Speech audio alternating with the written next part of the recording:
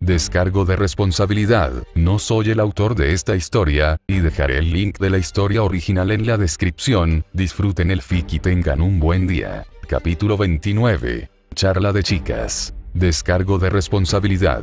Fate y sus derivados, no me pertenece, toda su historia y personajes pertenecen a Type Moon. Aclaratoria. Lo que está dentro de un guion es diálogo y lo que está dentro de comillas es un pensamiento similar. Capítulo 26, Charla de chicas. ¿A qué te refieres? Preguntó extrañada la princesa. Es tal y como escuchas, por alguna razón, la contrafuerza de Gaia ha intervenido en el ritual. ¿Alguna razón que conozcas del por qué puede estar sucediendo esto? Preguntó Kaubak desde el otro lado de la línea. Por un momento, Altrouge se quedó pensativa. La voluntad del mundo se divide en dos. La contrafuerza de Gaia, la voluntad del planeta, y la contrafuerza de Alaya, la inconsciencia colectiva de la humanidad. Ambas actúan por y para la supervivencia, en el caso de Gaia, la supervivencia del planeta, y en el de Alaya, de la humanidad. Eso es algo de conocimiento común, ¿por qué la necesidad de recalcarlo? Altrouge frunció el ceño. ¿No lo has notado, Kaubak? ¿El qué? Preguntó el comediante interesado. Las acciones de ambas en los últimos siglos. Las de Gaia tienen sentido, pero las de Alaya. Alaya. Pero Alaya no ha hecho nada. La princesa sonrió. Exactamente. La humanidad no ha alcanzado al resto de las estrellas, por ende, el planeta es su único refugio, si éste muere, es casi seguro que la humanidad le seguirá poco después y, aún así, Alaya no ha hecho nada para evitarlo, ya veo, ahora, la pregunta es, ¿por qué? Yo me he hecho la misma pregunta en las últimas décadas. Pero, por muchas vueltas que le doy, no he encontrado una respuesta satisfactoria. Sin embargo. Sin embargo, Preguntó Kaubak cada vez más interesado. Si estudias sus movimientos, te darás cuenta de que en un principio no fue así, estudiemos por un momento las acciones de las dos mitades de la voluntad del mundo. Empecemos con la que tiene más sentido hasta ahora, Gaia. La primera gran acción de Gaia que sé, me viene a la mente fue en el 12.000 AC. ¿O te refieres a la derrota de Sefar, pequeña? ¿Lo conoces?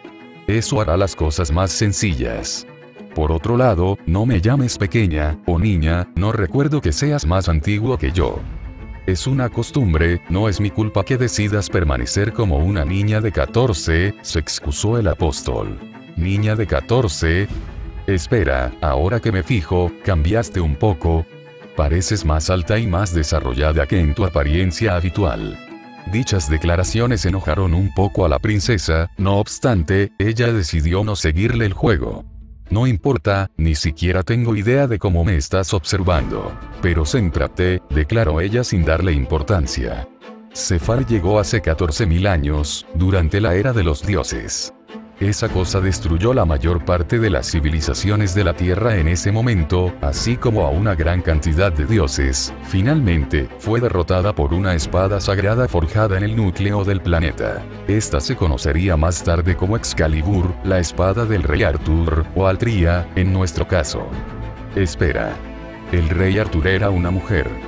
Sí, pero eso no importa, de nuevo, céntrate. Bueno, no tenía conocimiento sobre su derrota por parte de Excalibur, solo conocía sobre su historia en general, ¿dónde conseguiste esa información? Solo digamos que me vi forzada a aprender. Altrouge suspiró, ella era en parte una verdadero ancestro, tener este conocimiento gracias a su conexión con el mundo no era algo que debía ser considerado como extraño. Sea como fuere, esa fue la primera vez, al menos en cuanto a mi conocimiento, sobre una participación más directa de Gaia para autoprotegerse. Al crear a las hadas que forjarían la espada. Después de la era de los dioses, vino momentáneamente la era de las hadas y, después, la era actual, la era de común o era del hombre, complementó Kaubak. Altrouge asintió. Alrededor del año 0 DC, la era de los dioses terminó por completo y la población de la humanidad creció explosivamente. Debido a que la Tierra obedece la ley de la especie más próspera en su superficie, las reglas del mundo cambiaron por completo, de regirse por la hechicería, a regirse por la física. Las especies fantasmales, así como los dioses, cedieron la superficie de la Tierra a los humanos y se trasladaron al reverso del mundo, donde el misterio todavía prospera. Además de Excalibur, otro de los mayores actos de Gaia, es todo lo que conllevó a nuestra creación. Sí, era obvio que la conducta autodestructiva del ser humano no solo los afectaría a ellos. Para desgracia de la Tierra, la raza humana es básicamente lo opuesto a la idea de un último, Aristóteles, como los humanos los han llamado. Y bueno, el resto de la historia ya la conocemos. La respuesta de Gaia ante la amenaza humana fue producir seres que pueden destruir o gobernar a la humanidad pero al verse obligada a obedecer las leyes de los humanos, es imposible que fabrique algo con el poder de un último. Así que su mayor creación hasta ahora fue PM, él fue creado para eliminar rápidamente a tantos humanos como fuera posible. Y en parte yo, así como los otros verdaderos ancestros, no somos más que grandes hadas inspiradas en Brunestud, el último de la luna.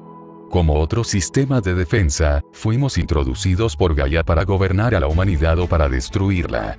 No obstante, incluso con todos los esfuerzos de los verdaderos ancestros y de Primate Murder, la constante evolución desenfrenada y sin control de la humanidad amplió cada vez más el deterioro del planeta y, todo esto, conllevó acciones cada vez más extremas, tanto de Gaia como de la humanidad. Al pensar en acciones radicales, la mente de Altroge desvarió hasta aquel ritual.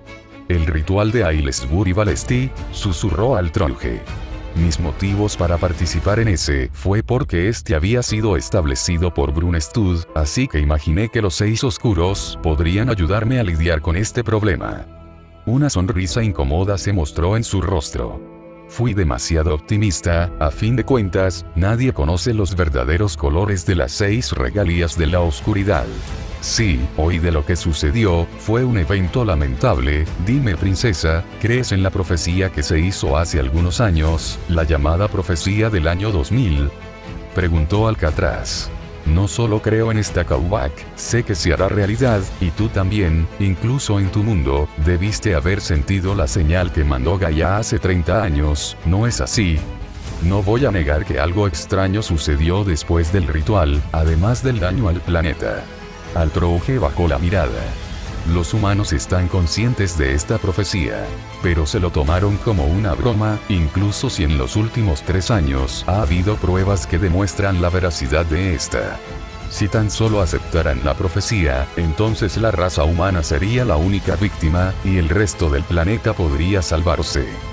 Bueno, eso no nos incluiría a nosotros, probablemente. A fin de cuentas, necesitamos de la humanidad para sobrevivir, suspiró el ancestro. Altroge asintió. Seguramente eso me acabé afectando a mí también, pero es algo que estoy dispuesta a aceptar.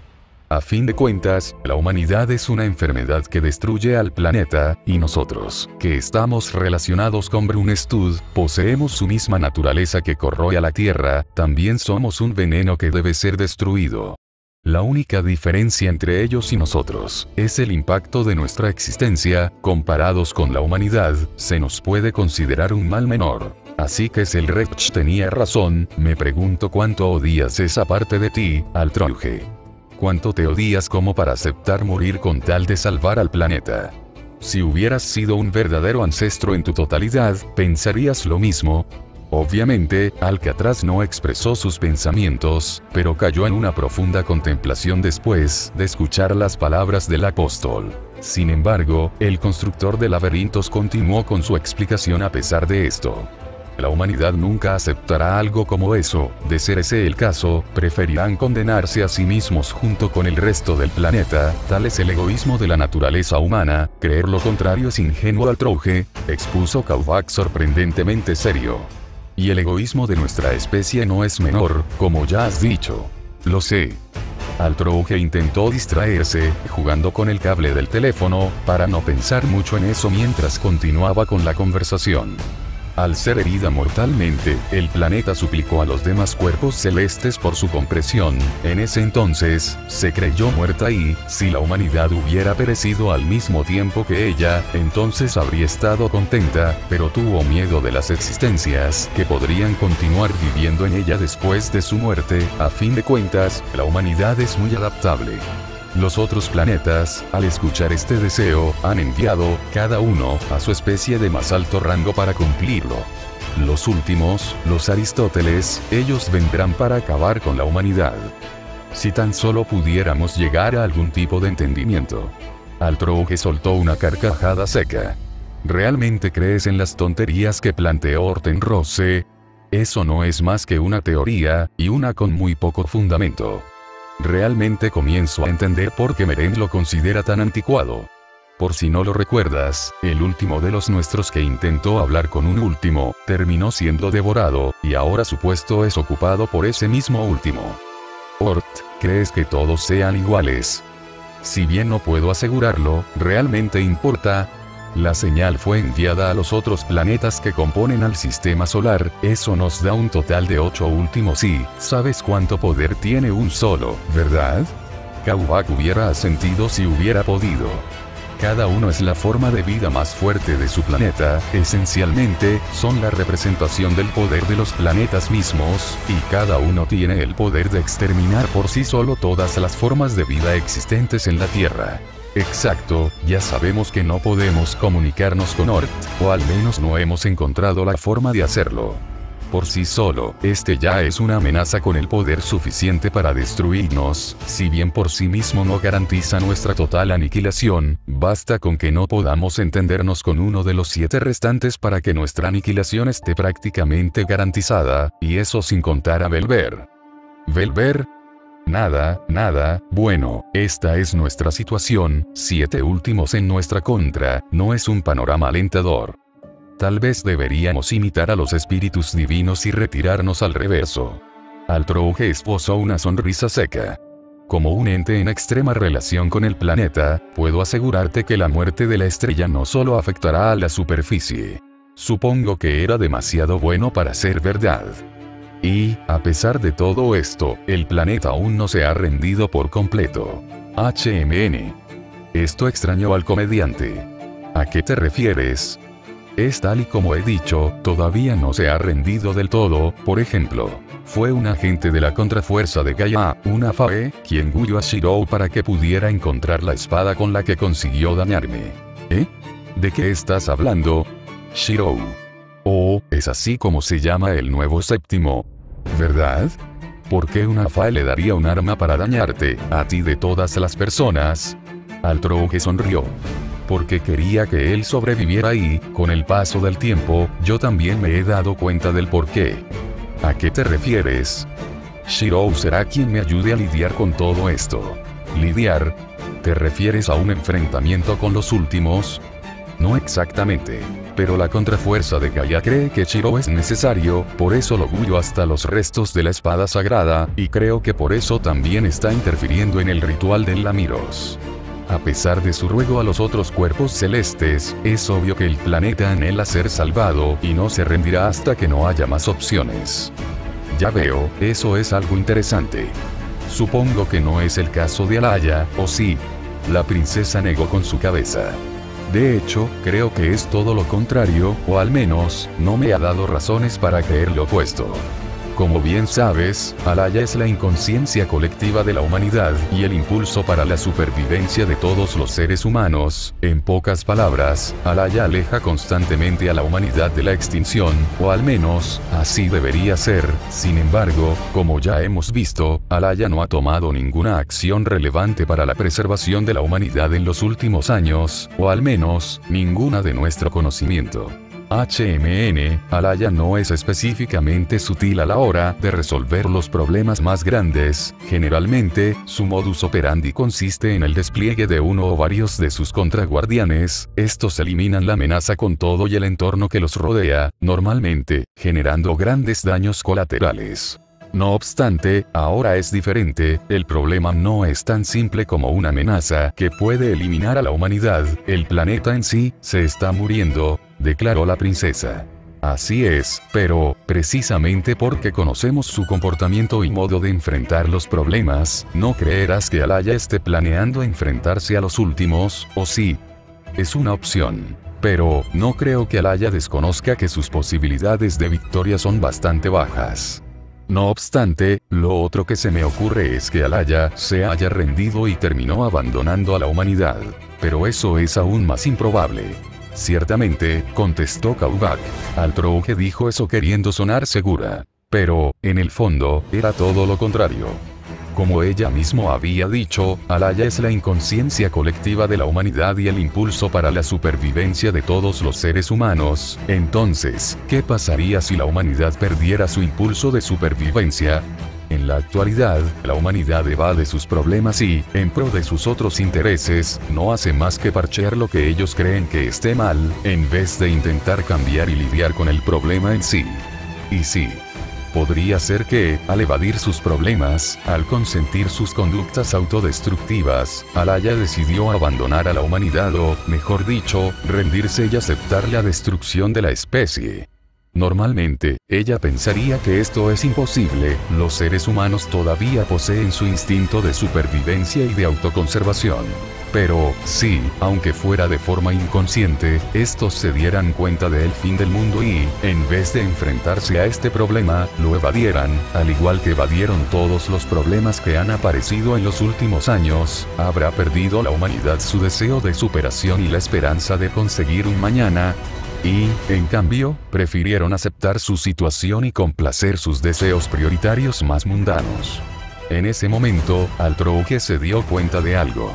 No puede ser, no me digas que, la razón del extraño comportamiento de la humanidad, no, no solo ellos, incluso el de los seres inhumanos, que tampoco se preocupan por el futuro, el que constantemente evadamos los problemas, la histeria colectiva, tal vez todo esto es consecuencia de que la hemos perdido precisamente, la esperanza o, mejor dicho, a Elpis, tal vez, con el paso del tiempo, al estar encerrada en la caja de Pandora. ¿Sucede algo, princesa? Te quedaste callada por unos minutos. Oh, nada, como puedes ver, nuestra situación es bastante preocupante, la contrafuerza de Gaia todavía está intentando hacer algo para salvarse. Pero no tenemos ni idea de qué demonios está planeando Alaya. Entiendo, creo que ahora comprendo mejor nuestra situación, entonces, ¿estás sugiriendo que la razón por que la Gaia tomó el control de mi laberinto, es parte de una de las medidas que está tomando en un intento de preservarse? La princesa asintió.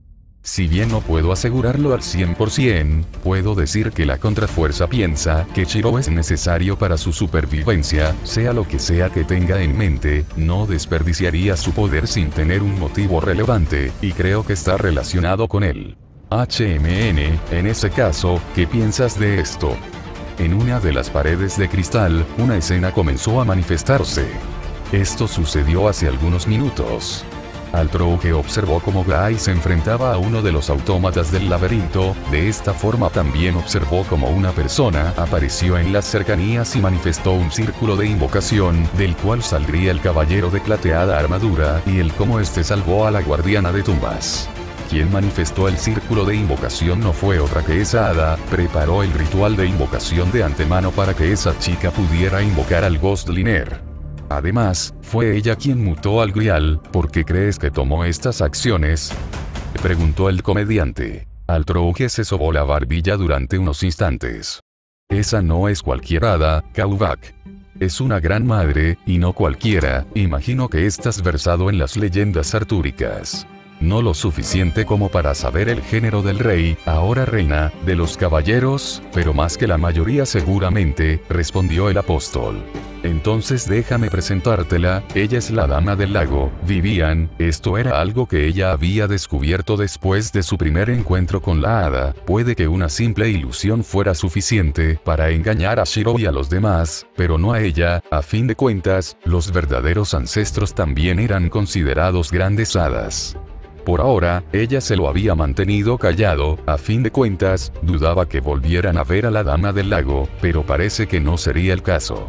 Esa dama del lago, segura, aunque existen muchas hadas relacionadas con los lagos, creo que el título solo toma fuerza si es ella quien lo porta, respondió Altrouge con una sonrisa burlón ante la incredulidad del apóstol. Supongo que nunca te relacionaste con ella por aquellos tiempos. No estaba para la labor en aquellos días, como sea, porque crees que alguien como ella se ha manifestado en la era actual. La era de las hadas terminó hace varios siglos. HMN, no sé que también versado estés en las leyendas artúricas. No obstante, imagino que sabrás que Excalibur no fue la única arma que el rey de los caballeros blandió. Por supuesto, si mal no recuerdo, tuvo varias armas, como, por ejemplo, Una daga muy útil. Exacto, entre estas también se destaca otra arma relacionada con el mundo, además de Excalibur, su lanza, Rongominiad. Rongominiad, si mal no recuerdo, se dice que es una torre de luz que ancla las capas del mundo. La autoridad de la torre se otorga en forma de lanza a su portador, en este caso, Arthur, o Altria, mejor dicho. Pero, ¿qué tiene que ver la lanza sagrada con esa chica? Es un poco difícil de explicar, pero, en resumen, esa chica la posee. ¿Qué? exclamó Kauvak sorprendido. Imposible, un misterio al nivel de lo que es Rongominiad no sobreviviría hasta la actualidad. Sí, tienes razón. Pero parece que Morgan logró sellar de alguna forma la lanza para evitar que su misterio se desvaneciera, luego los pobladores del lugar del cual nació esa chica transmitieron ese misterio hasta la actualidad. La existencia de la lanza en sí es una de las razones por las cuales la hechicería y la conexión con el reverso del mundo no se ha deteriorado a mayor velocidad. Como tú mismo dijiste, la lanza es solo la sombra de su verdadera forma, se dice que es una torre que sujeta la capa exterior del mundo al planeta, uniendo la capa exterior del mundo, la realidad, y el reverso del mundo, la ilusión. También se dice que, en el improbable caso de que esto se deshaga, la realidad será arrancada de la superficie del mundo para revelar el reverso de este, recreando la era de los dioses. Ahora que lo dices, se podría recuperar la magia de esa forma, aunque eso también destruiría nuestra realidad, en pocas palabras, la era del hombre. ¿No es así? En una situación normal, no te lo negaría. Pero con el mundo en su estado actual, es más probable que el reverso del mundo se pierda para siempre, y que la magia abandone por completo la realidad, que una regresión a esa era. Para bien o para mal, durante la era de los dioses, Gaia poseía una autoridad mayor que en la era actual, si ésta dejara que el misterio de Rongominiad se desvaneciera y, si mi teoría es correcta, entonces el poder del mundo para tomar medidas que puedan ayudarle a salvarse se vería mermado en gran cantidad. Y por eso Vivian salvó a la chica. La necesita, concluyó la princesa. Ahora que te he puesto al tanto, ¿te importaría mandarme dentro del laberinto? Por un momento, el silencio colmó la habitación. Pero, finalmente, el apóstol 27 avo lo rompió. Me temo que eso no sería prudente. Kaubak, susurró al troje con un tono de voz que indicaba peligro. No me malentiendas, no es que me interese contenerte. Pero, después de que la contrafuerza de Gaia tomó el ritual por la fuerza, he perdido la mayor parte de mi autoridad sobre el laberinto así que no puedo transportarte a alguna ubicación en específica. Entonces solo sácame de esta habitación, recorreré el laberinto por mi cuenta. ¿Estás segura de que eso es lo que quieres? Preguntó Kaubak. Esto es lo que te espera si abro la puerta de esta sala. En otra de las paredes, se reflejó un túnel, dentro de este, Altroge pudo vislumbrar una gigantesca cantidad de especies fantasmales quimeras, golems, conejos asesinos, etc. ¿Qué demonios? Preguntó la ancestro asombrada. Yo también me sorprendí, de alguna manera, se reunieron todos en la entrada de esta habitación, comentó Kaubak. Al principio, no entendía por qué lo habían hecho. Pero ahora creo que lo comprendo. ¿A qué te refieres? Preguntó la princesa. Es obvio que es la contrafuerza de Gaia quien los está manipulando, lo que no entendía era el por qué. Pero ahora, según lo que me has dicho, puedo dar una hipótesis. Vivian, como agente de la contrafuerza de Gaia, ha tomado este ritual por la fuerza, para llevar a cabo cualquiera que sea su plan, y así poder alcanzar su objetivo y, por alguna razón, la contrafuerza de Gaia cree que tu participación dentro del ritual será perjudicial para esto. Es por eso que creo que, si sales de esta habitación, serás constantemente atacada por todas estas especies fantasmales. ¿Qué demonios está planeando Vivian? Altroge no mostró sus preocupaciones y, en cambio, sonrió. Kaubak, ¿hay algo dentro de este laberinto que crees pueda detenerme? HMN, hay uno, en el tercer nivel del laberinto.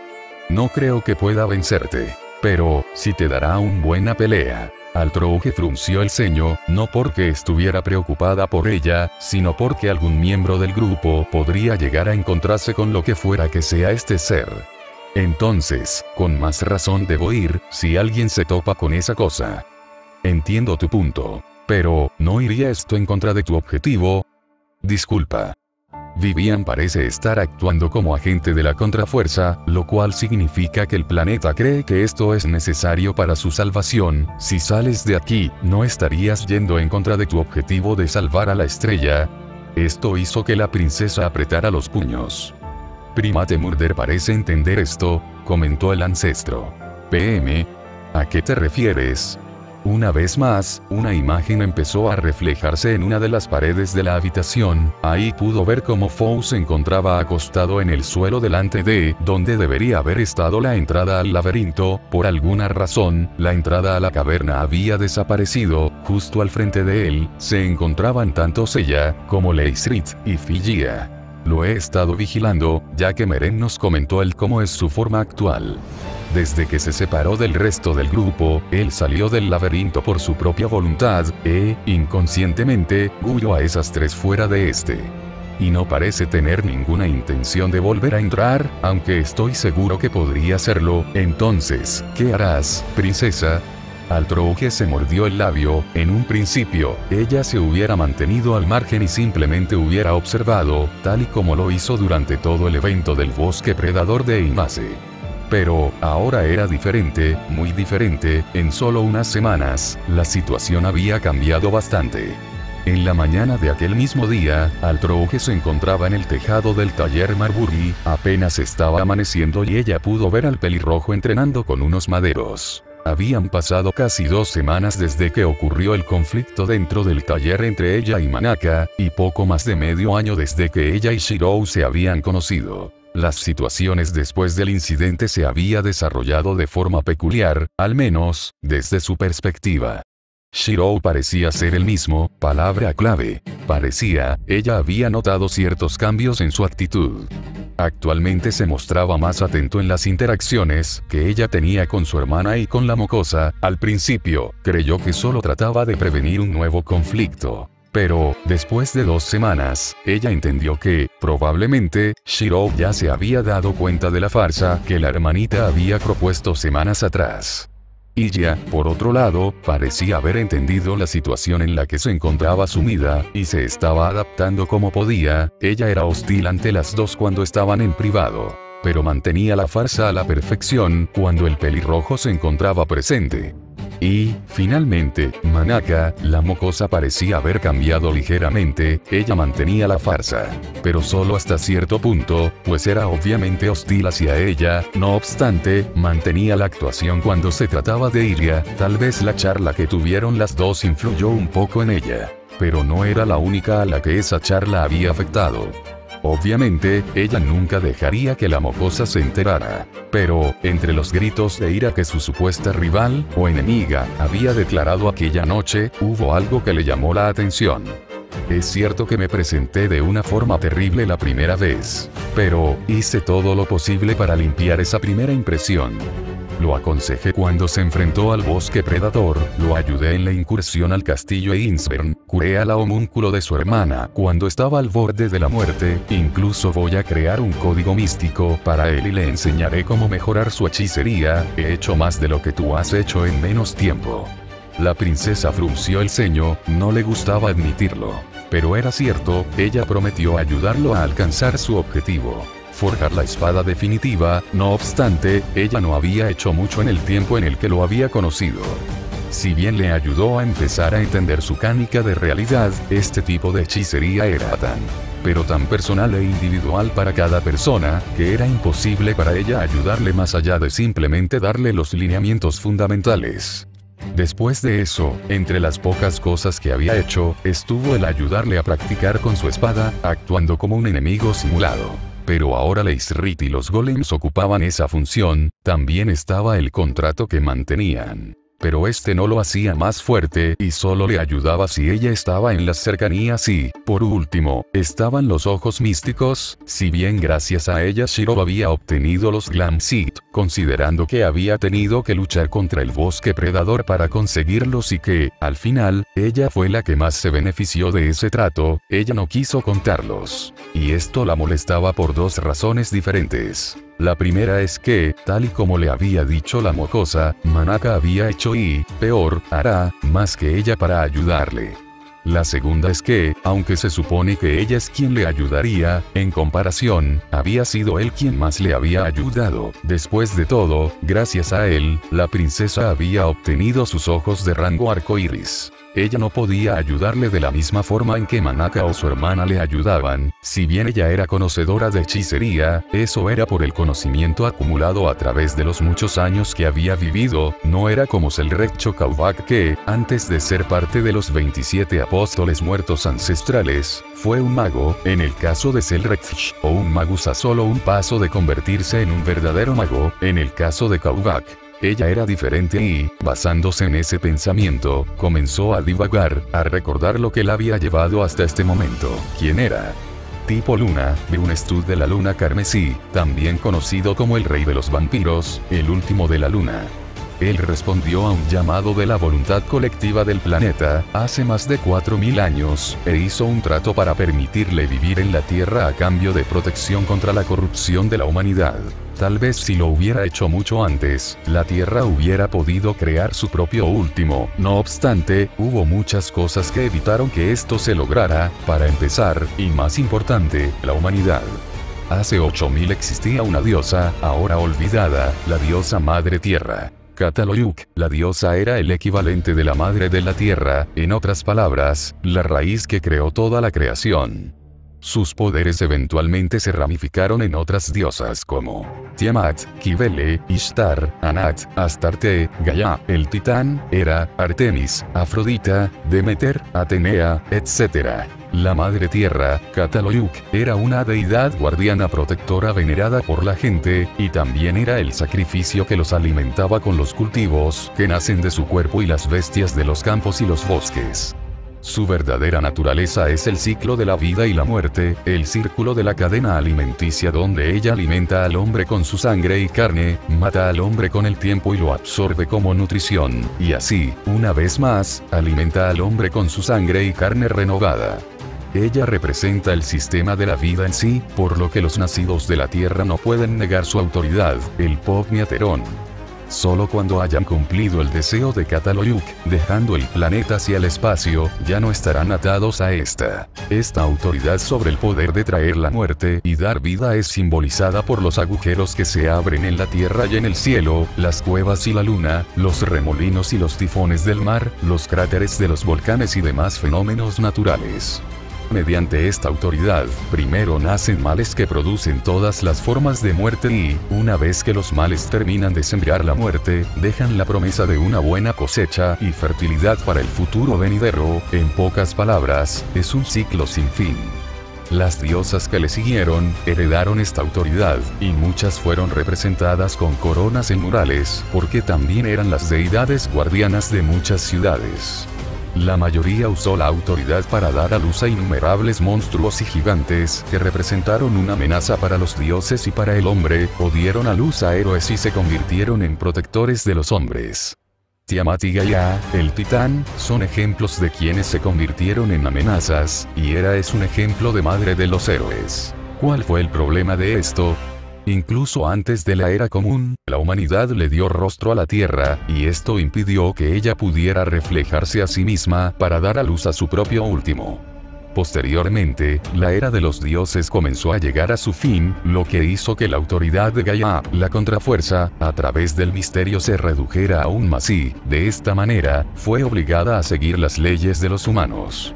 Debido a todo esto, es incapaz de usar un espejo para reflejarse a sí misma, lo que produjo que no pudiera establecer sus propios estándares y, al final, tuvo que pedir ayuda a otro cuerpo celeste, ya que solo otro cuerpo celeste es capaz de comprender la muerte de un planeta, ese fue Brunestud. Los verdaderos ancestros, basados en su imagen, fueron creados como un sistema protector natural para la Tierra, y se establecieron para devolverla a su estado natural. Brunestud viajó por el planeta y desafió a seres aleatorios a derrotarlo, como Gransur Blackmore, que no era más que un magus promedio en aquel entonces, y los aldeanos que retenían a Merem Solomon. También reunió a varios seguidores, como, por ejemplo, TRHBMN Orten Rose, en un intento de eventualmente tomar la Tierra como si fuera su propio reino. Finalmente, fue derrotado por Kischurs el Reche empuñando un aspecto de la segunda magia. Durante su batalla con Selrecht, pudo crear una imagen especular de la luna y la dejó caer hacia el planeta en un evento que fue conocido como la caída de la luna. Ella todavía no estaba segura de cómo la asociación y la iglesia ocultaron tal evento, aunque, por aquellos años, la racionalidad del ser humano todavía no era tan prominente. Esto obligó al mago de la segunda magia a utilizar un cañón de éter prácticamente ilimitado para hacerla retroceder.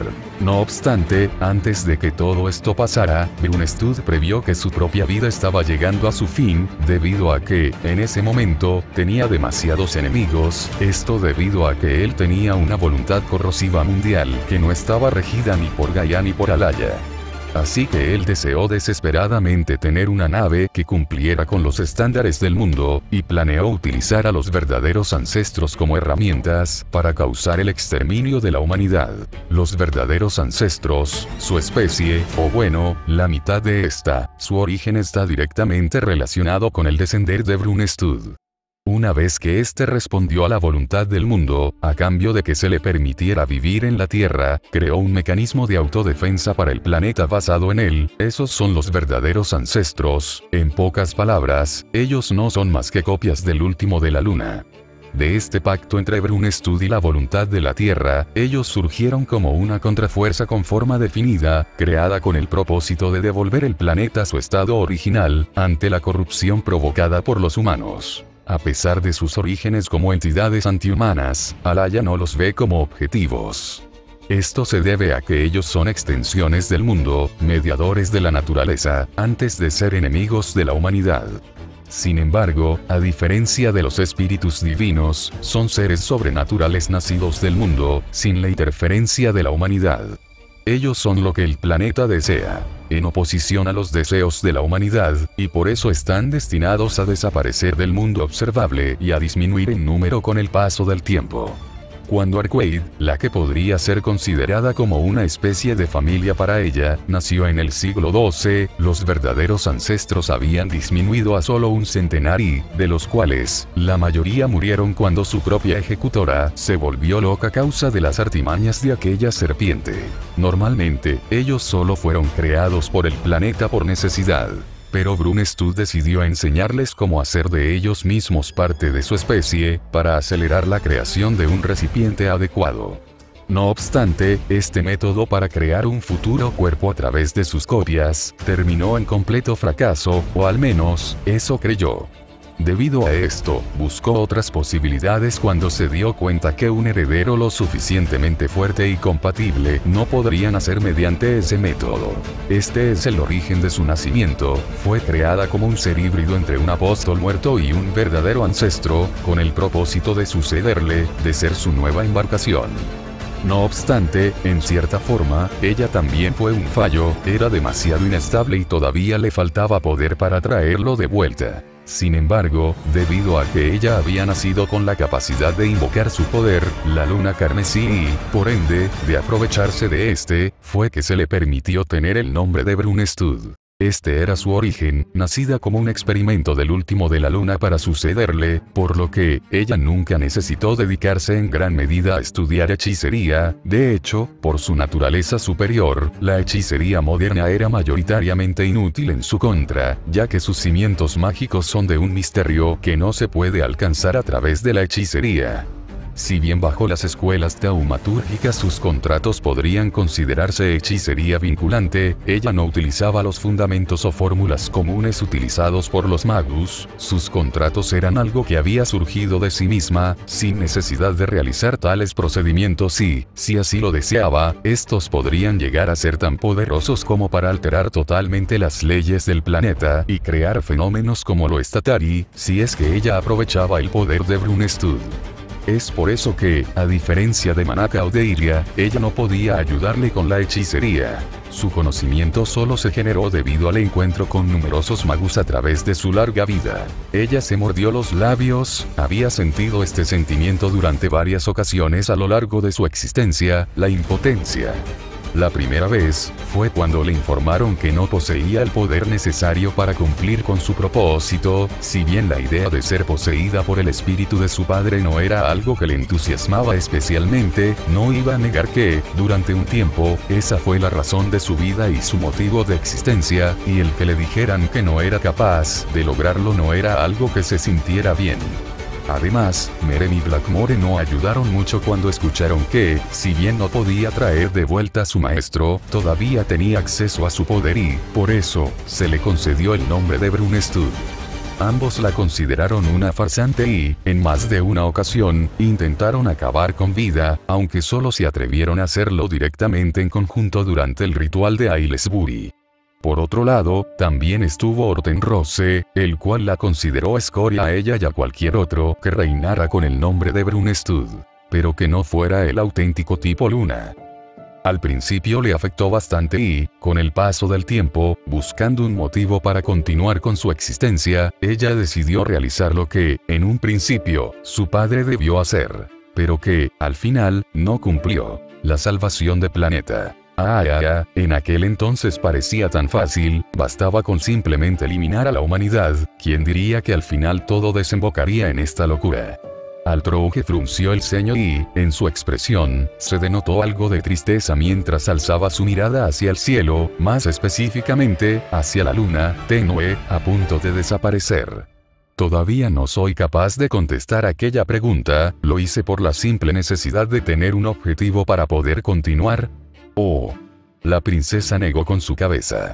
Yo soy yo, no soy él, no puedo ser él. Pero si triunfo donde él fracasó, entonces, entonces tal vez pueda ser más que él, más que un experimento fallido de lo que fuiste. Si alguna vez pudo haber sido diferente de cómo terminó siendo, eso se decidió en los primeros momentos de su vida. Ella había sido inestable desde su nacimiento, tanto en poderes como, de cierta forma, en personalidad, aunque no es que se notara mucho, a fin de cuentas, todos los miembros de los 27 apóstoles muertos ancestrales era un grupo de excéntricos muy peculiares, por llamarlos de algún modo. A lo largo de los años, muchos vinieron para terminar con su vida, ya sea porque la veían como una amenaza o como un fallo que usurpaba el nombre de su maestro, otros intentaron robar su poder o utilizarle de alguna manera, no obstante, estos se confiaban al verla débil e impotente, y ese era su mayor equivocación. Por varios años estuvo sola en el mundo y, al darse cuenta de lo despiadado que éste era, y de los rumores que comenzaban a surgir alrededor de su persona, ella decidió que debía protegerse. Altrouge sonrió mientras bajaba su mirada hacia el pelirrojo. Siempre fui inestable a la vista de todos los demás, la cosa que más odiaba de mí misma, aquella que hizo que fuera tachada como un experimento fallido, una farsante, y, al final, irónicamente, se convirtió en mi mayor arma y armadura. Debía protegerse, tal y como los demás miembros de su especie se protegían, varios de ellos no tenían legiones de muertos a sus espaldas, o niños a los que hubieran criado para hacerse más fuertes pero tenían algo que evitaba que los persiguieran constantemente. Poder y, más específicamente, el miedo engendrado a través de este. Fue entonces cuando Altrouge Brunestud nació verdaderamente, cuando la princesa del crepúsculo, la maestra de los contratos y de la sangre negra, vio la luz por primera vez. Con el paso del tiempo, algunos se dieron cuenta que, si bien no era quien traería a Brunestud de vuelta, era una digna sucesora que llevaría a cabo lo que ni siquiera él pudo. De esa manera, logró ganarse la lealtad de aquellos quienes le seguían hoy en día, como, por ejemplo, sus dos guardaespaldas personales. fin habló de Svelten, su caballero blanco y un capitán pirata, ni siquiera ella sabía cómo se habían ligado esos dos roles, aunque no iba a negar que le parecía divertido, y rizo a Al Strout, su caballero negro y uno de los cinco apóstoles muertos que era parte de los ancianos, parte de los que habitaron durante los momentos finales de la era de los dioses. Estos últimos eran tan importantes que se les dio el título de Liga de la Era de los Dioses. Esa fue la primera vez que sintió la impotencia, impotencia ante algo de lo que nunca tuvo control, voz o voto, la impotencia de no nacer cumpliendo las expectativas de aquel quien la creó y de sus seguidores. Pero, más importante aún, también fue la primera vez que la superó. Con el paso del tiempo, muchos años después de su nacimiento, hubo una segunda vez en el que sintió una impotencia similar a la que sintió por su falta de poder e inestabilidad. La segunda vez fue entre el siglo XII y el siglo XIII DC, esto ocurrió cuando, después de que la mocosa original naciera, fue engañada por Michael Roa Valdamjon.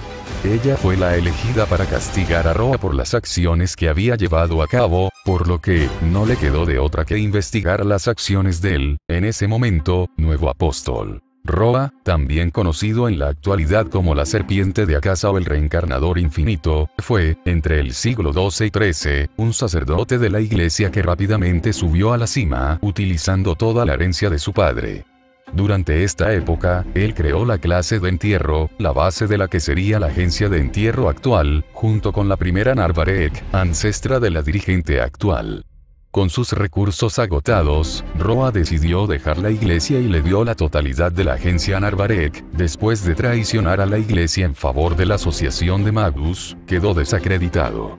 Él deseaba obtener una inmortalidad diferente a la que poseían los apóstoles muertos pero, tratando de superar sus límites como un simple humano, se convirtió de mala gana en un vampiro para poder continuar con su investigación. Se convirtió en un poderoso apóstol muerto tras su avivamiento, el poder del apóstol muerto convertido aumenta en proporción a la fuerza del apóstol barra ancestro que convierte. Roa usó al ancestro verdadero más fuerte, Arquaid, para convertirse instantáneamente en un apóstol muerto del más alto rango, al saltarse las etapas de crecimiento gracias al inmenso poder de esta. En este proceso, Roa robó una porción del poder de Arquaid y logró alcanzar la cúspide de sus habilidades en la hechicería mientras aumentaba su poder. No obstante, se ganó el desprecio de los otros miembros de los 27 mientras acumulaba poder. Todo esto fue lo que llevó a que ella fuera elegida para ponerlo en su lugar.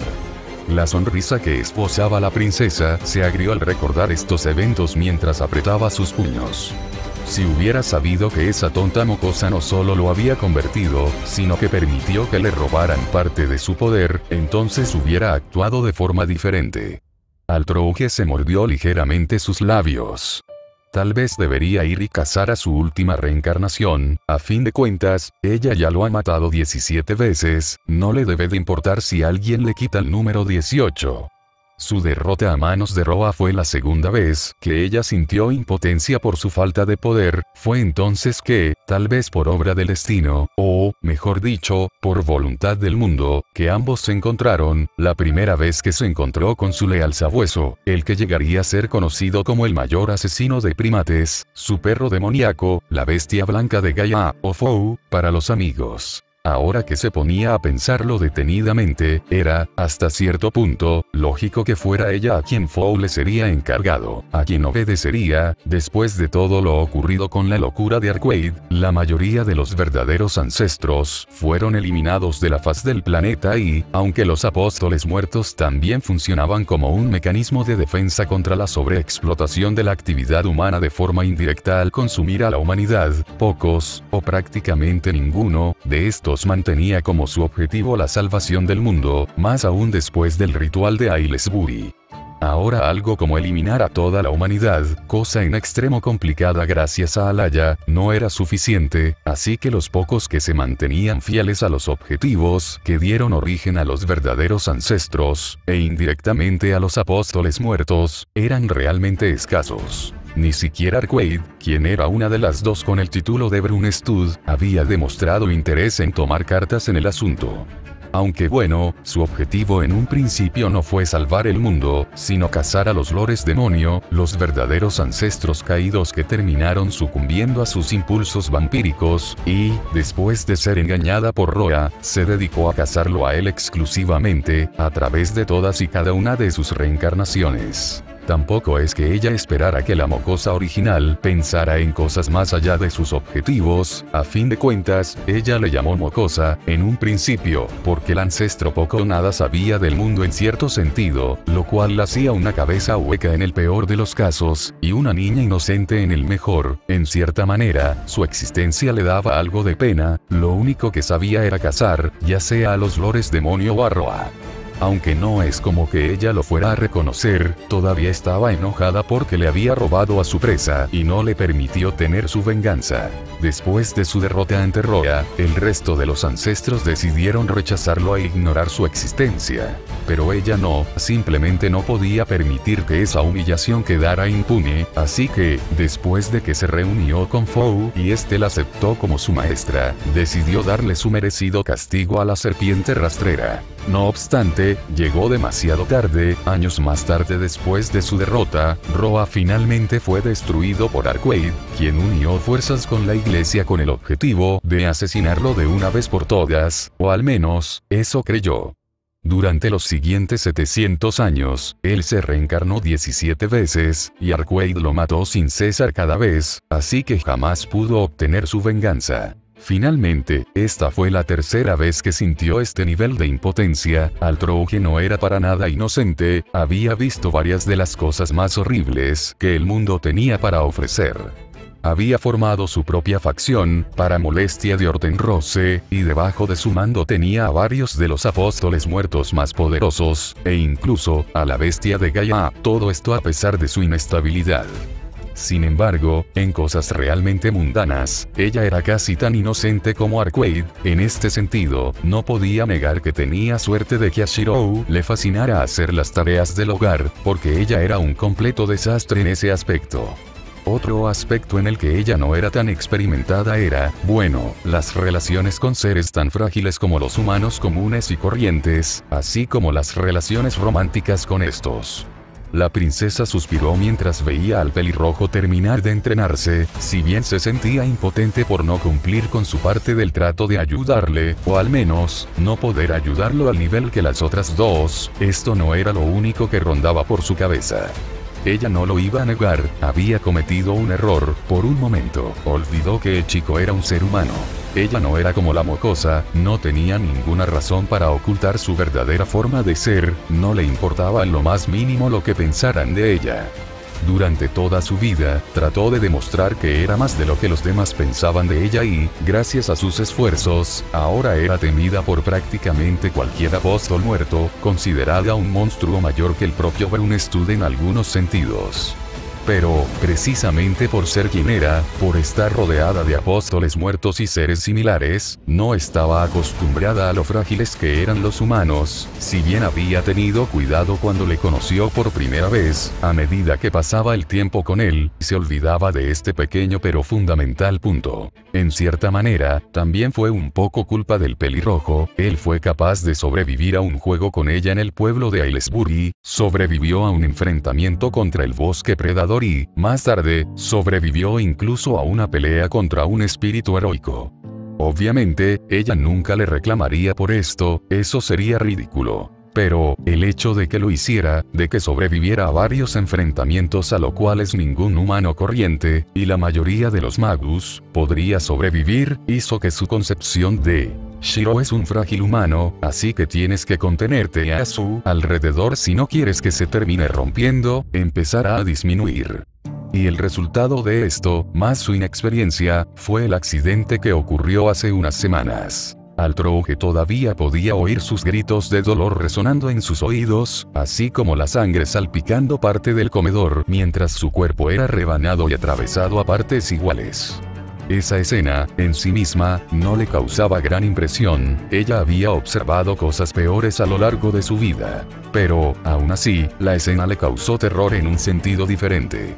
Al principio, no lo demostró, inocentemente, esperaba que él sobreviviera tal y como lo había hecho varias veces antes. Sin embargo, al ver que el daño era realmente severo, que, incluso con la regeneración de Avalon, Shirou no se recuperaba instantáneamente y, peor aún, algo que ella no había tomado en consideración.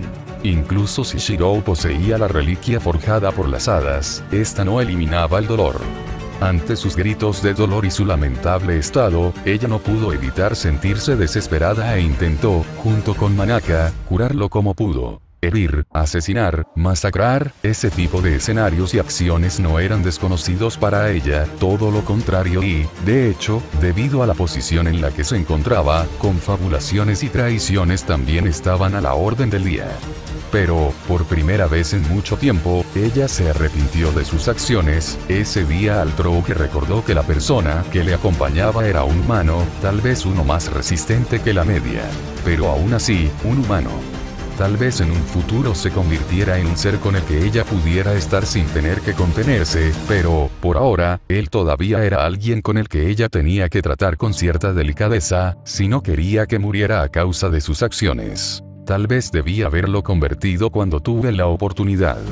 Ella sonrió amargamente, ese deseo egoísta se había hecho más fuerte después de estas semanas.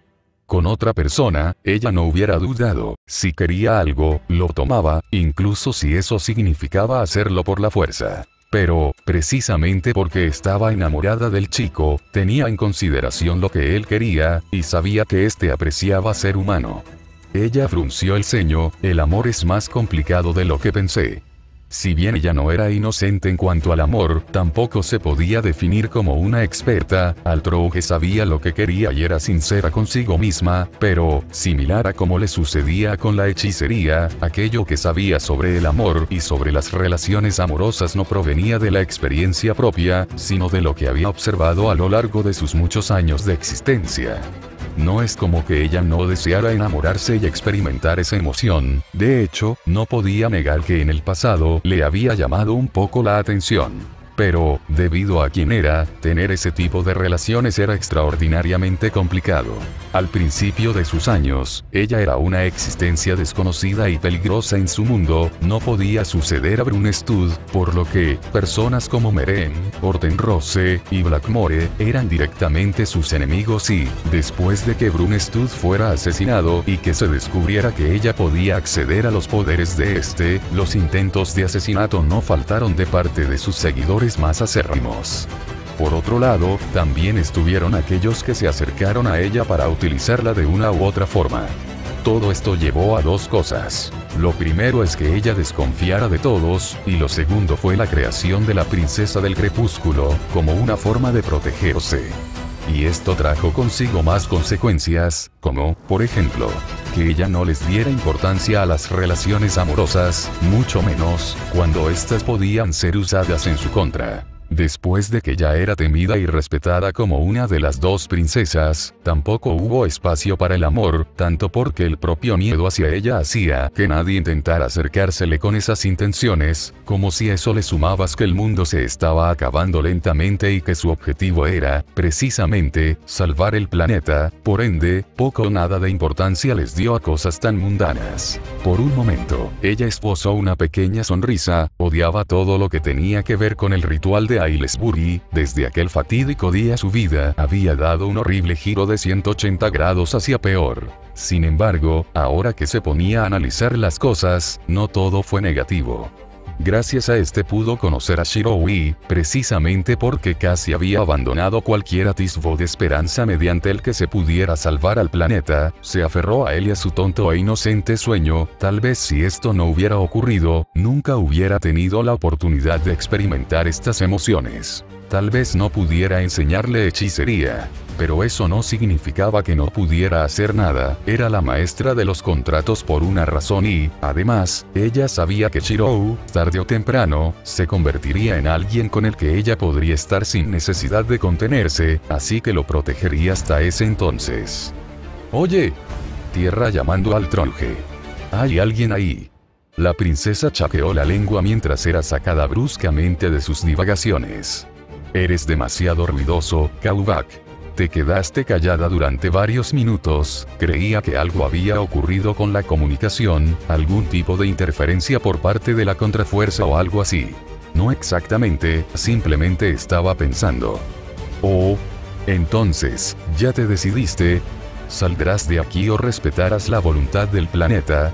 Al que frunció el ceño, en el pasado, no le hubiera importado jugar a ser una espectadora, como cuando sucedió todo el lío de Imase pero ahora que había decidido proteger a Shiroi, sabiendo que había algo sumamente peligroso dentro del laberinto, la situación era diferente, aún así, ella sabía que Vivian no pondría al chico en una situación insuperable, pues lo necesitaban vivo y, probablemente, esto no fuera más que una forma de fortalecerlo, sin embargo, también sabía que la contrafuerza como tal muchas veces no tenía tacto, y le preocupaba en que aprieto pudiera ponerlo la voluntad del mundo con tal de hacerlo más fuerte fuerte. Esta habitación, donde se encuentra HMN, cerca de la parte más profunda del laberinto. ¿Por qué? La princesa sonrió, la suerte estaba de su lado, la criatura debía de estar cerca de su posición, por lo que, si Shirou llegaba a meterse en un aprieto, podría salir de la habitación y llegar al lugar sin tener que demorarse mucho. Supongo que me quedaré por ahora, al menos, hasta que Shirou se meta en algún problema. Suena como que tienes mucha confianza en que lo hará. Altrouge se rió. Lo hará, hace tiempo que no veo a alguien con tan mala suerte como él. Y mientras tanto, ¿qué harás? Kaubak, ¿alguna vez te enamoraste? Es decir, ¿tuviste una pareja? Disculpa, ¿qué? ¿Que si alguna vez te enamoraste y tuviste una pareja? Dudo que te hayas casado, así que no preguntaré por eso. Aunque extrañado por la pregunta, el comediante respondió. Bueno, tienes razón en lo último. Generalmente un magus se casa y tiene descendencia para así poder transmitir su investigación, y que su hijo o hija pueda terminar lo que él no pudo. Sin embargo, yo acabé convirtiéndome en un apóstol a causa de mi investigación, así que no tuve necesidad de casarme y tener descendencia. Ya veo, pero, ¿alguna vez te enamoraste, o tuviste algún tipo de relación romántica después de convertirte en un apóstol? De nuevo, ¿qué? ¿Por qué me estás haciendo estas preguntas? Espera. No me digas que tú. Altrouge sonrió.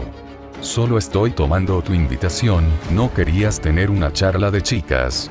Kaubak no pudo evitar esbozar una risa resignada, en serio, ella, de todas las personas, por su parte, al Trouge no le importaba hablar de esto con Kaubak, precisamente por estar encerrado en lo profundo de un laberinto, no tenía mucho contacto con el resto del mundo, no obstante, al ver cómo podía comunicarse a través de estos teléfonos, ella decidió darle una pequeña advertencia.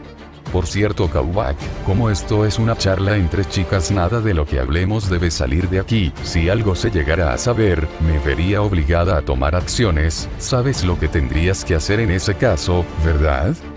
Mantener el ojo de mi cerradura limpio mientras pueda. Exactamente. Tranquila, me aseguraré de que no sea necesario que lleguemos a ese punto. Entonces, ¿qué quieres saber? En otro lugar, dentro del laberinto, Waver abrió los ojos. Le dolía la cabeza y a sus ojos les costaba adaptarse a su nuevo entorno, no obstante, cuando estos al fin se acostumbraron, no pudo evitar sorprenderse.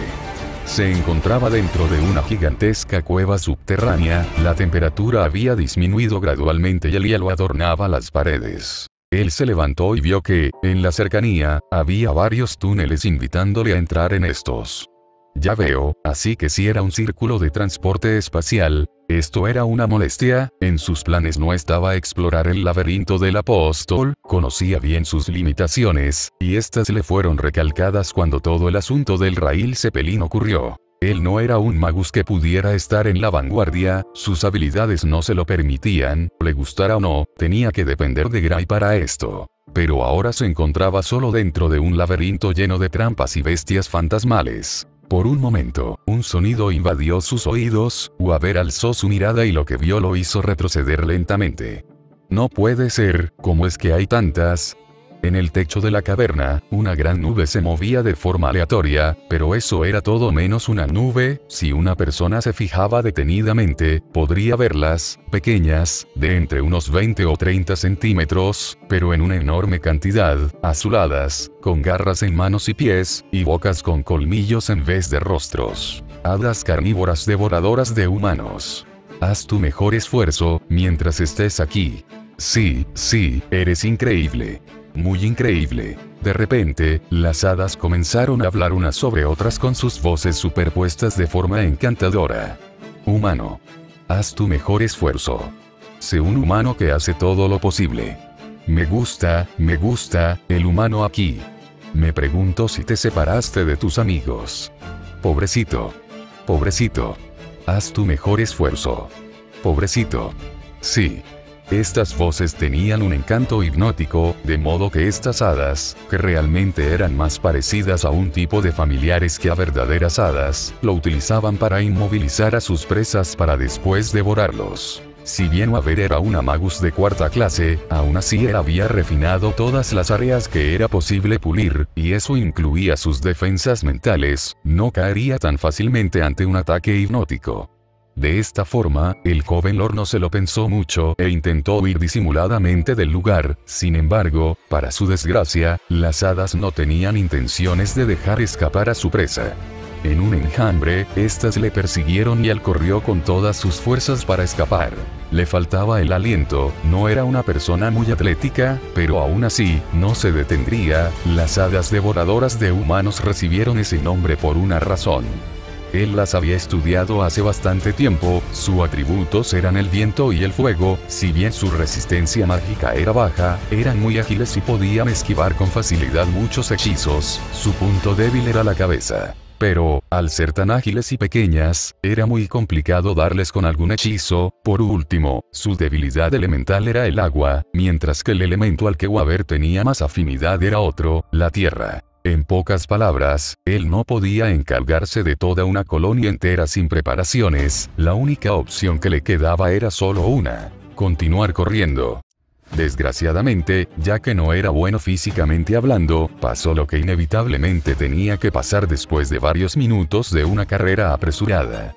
En no puedo más. El profesor se inclinó agotado, sus piernas le dolían y le faltaba el aire en sus pulmones, todo su cuerpo le ardía. Pero nada de esto les importaba a las hadas que le perseguían, estas, sin detenerse ni un instante, se lanzaron en su contra. Por un momento, pensó que estaba perdido, cuando un grito le trajo de vuelta a la realidad. Abajo. Waver se tiró al piso y algo pasó encima de él, no sabía si era un hechizo o la persona que le había gritado. Pero, fuese lo que fuese, avanzó en contra de las hadas. Notas de autor. Listo este capítulo, este me tomó bastante tiempo, no por el capítulo en sí, sino por otras cosas. Pero finalmente lo terminé. Técnicamente, en este capítulo no se avanzó mucho en la historia, pero, ya que este ve a ser un arco donde se desarrollen los personajes, o al menos esa es mi intención, creo que este capítulo era necesario para el tronje. Desgraciadamente no me salió Citonai, tiré la mitad de lo que tenía por ella y nada, me salió todo menos algo que no tuviera del banner, literalmente. Banana NP3, Rama, Yalter, hasta un Axuanzan, Rey Tapi. Bueno, dicho esto, ahora, las preguntas. Camilo Navas. Lo de Waberi Shirou, bueno, ya verás. Y sí, una vez que la era de los dioses se acabó, los que todavía estaban vivos se desplazaron al reverso. Tal vez cuando termine esta historia, me plantee hacer una donde el escenario sea el reverso del mundo. Al pasero 524. Bueno, no voy a negar que la idea me llama, tal vez le dé una oportunidad y me ponga a hacerla, al menos por probar. Aunque probablemente tarde bastante si quiero que sea algo decente. Ace 999. Hasta yo me sorprendí de que cayera tan cerca del evento, ya tenía planeado que se volviera un pseudo sirviente, pero no esperé sacar el capítulo con el evento tan cerca. Guest. La guerra será interesante. Pedro 117. Sea lo que sea que Gaia, probablemente termine en un desmadre. Sebastián Moll. Tu pregunta me duele en la sal, solo diré eso. Sedwen. Alter Ego no reemplazó a ninguna clase, simplemente no se contó entre los sirvientes de clases regulares, porque el ritual en un principio, no tenía contemplado la existencia de tal clase. Digamos que puede estar moribunda, pero Gaia sigue siendo Gaia, así que simplemente aprovecho el ritual. Sin más que decir, agradezco todos vuestros comentarios y espero que hayan disfrutado del capítulo, nos vemos en el siguiente.